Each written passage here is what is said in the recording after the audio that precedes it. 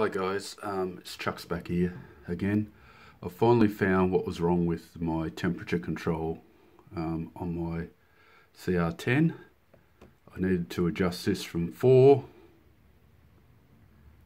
to 10 and I needed to adjust the second one which is above it, which is the hot end, to 10 as well, which I've adjusted that from 4 to 10.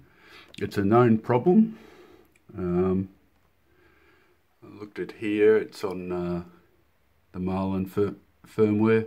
It's a known problem that it has a problem um, holding the temperature at those uh, tight tolerances and so I've adjusted it and I'll see how it goes. I'm hoping that it will go quite well today and I'll plug that in um, pretty soon. I'm just waiting for my uh, other half to get home so I can leave my doggies at house because my printer is down the shed.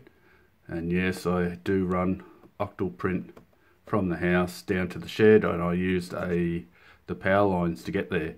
Anyway that's it from me at the moment. I hope you're all having a great day. Uh, and it's very cold here. It's dropped down to about 15 degrees. So um, yeah and that's in American that would be 60 Fahrenheit anyway uh, it's not cold as it could be, but to me it's cold. For an Australian, it's cold weather. Anyway, thank you. Bye.